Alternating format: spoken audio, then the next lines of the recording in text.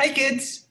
So I am going to be reading out all of the different questions and all the different answers for this Google form, this Google quiz that you're about to be taking, this quiz that you're about to be taking about uh, using the science kits responsibly. So hopefully this will help for those students, especially in the younger grades who have some trouble reading. I want you to be able to answer all of these quizzes and do it on your own. Okay, I'd like you to try and do this with without your parents.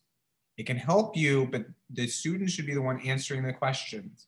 So I know so that you know and I know that you know how to use these responsibly.